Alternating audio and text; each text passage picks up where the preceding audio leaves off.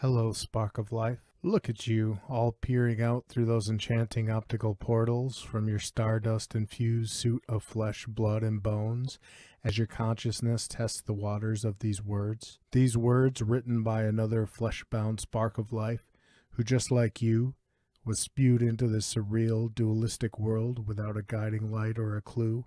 And just like you, I've had dreams, triumphs, and failures galore.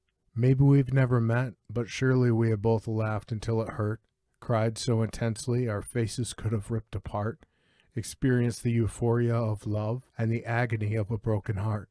Like me, you've questioned your worth, right? You've been silenced when you needed to speak, and you spoke the wrong things at the worst times. You've been let down, rejected, and abandoned, while doing the same thing to others, despite your best intentions and efforts. Surely I am not being unduly presumptuous here.